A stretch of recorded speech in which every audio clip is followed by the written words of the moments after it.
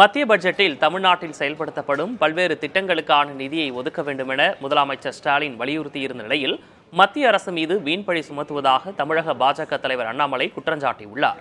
இதுகுறித்து அண்ணாமலை தனது எக்ஸ் தள பக்கத்தில் பிரதமர் மோடி தலைமையிலான மத்திய அரசு கடந்த பத்து ஆண்டுகளில் பத்து லட்சத்து எழுபத்தி ஆறாயிரம் கோடி ரூபாய் மதிப்பிலான நலத்திட்டங்களை வழங்கியிருப்பதாக குறிப்பிட்டுள்ளார்.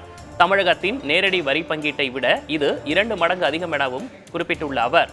மத்திய அரசின் பங்கு என்ன? மாநில அரசின் பங்கு என்ன என எதுவும் தெரியாமல் வழக்கம் போல் யாரோ எழுதி கொடுத்ததை முதலமைச்சர் ஸ்டாலின் பதிவிட்டுள்ளதாகவும் விமர்சித்துள்ளார். திமுகவின் தேர்தல் வாக்குறுதியான மதுரவாயல் துறைமுகம் பறக்கும் சாலை திட்டத்திற்கு மத்திய அரசின் ஐந்தாயிரத்து எண்ணூறு கோடி ரூபாய் ஒதுக்கீடு செய்துள்ளதை முதலமைச்சர் மறைக்க முயல்கிறாரா என கேள்வி எழுப்பியுள்ள அண்ணாமலை இந்த ஆண்டு மட்டும் ஆறாயிரத்து முன்னூற்று முப்பத்தி ஒரு கோடி ரூபாய் மதிப்பிலான ரயில்வே திட்டங்களை தமிழ்நாட்டிற்கு பிரதமர் மோடி வழங்கியுள்ளதாகவும் குறிப்பிட்டுள்ளார். பால் விலை தயிர் விலை மின்சார கட்டணம் என அனைத்தையும் பல மடங்கு உயர்த்திவிட்டு வருமான வரி குறித்து பேச கூச்சமாக இல்லையா எனவும் அவர் கேள்வி எழுப்பியுள்ளார்.